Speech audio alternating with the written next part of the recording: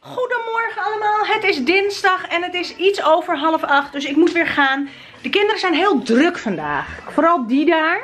Die gaat helemaal los. Al vanaf, uh, nou, tien voor half zeven of zo. En Matteo was ook om half zeven al wakker. En gewoon kletserig en druk. En weet ik veel wat. Mika, daar staat een laptop. Doe je ietsje voorzichtig? Ik was niet druk. Ik was gewoon alleen maar gekletst. Oh, dat is voor jou druk zijn.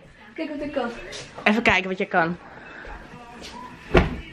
Vet cool kan je dat. Anyway, uh, ik ga naar mijn werk.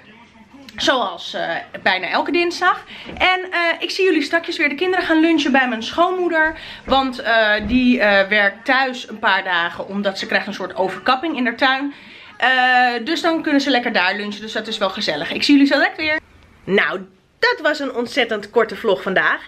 Ik weet ook niet waarom, maar goed, ik heb gewoon heel veel gewerkt en gedaan. En uh, daarna, oh ja, ik weet wel waarom natuurlijk. Uh, ik heb gewerkt en gelijk eigenlijk na mijn werk ben ik naar mijn schoonmoeder gegaan. Uh, daar waren de kinderen ook. Daar hebben we rotti gegeten, super lekker.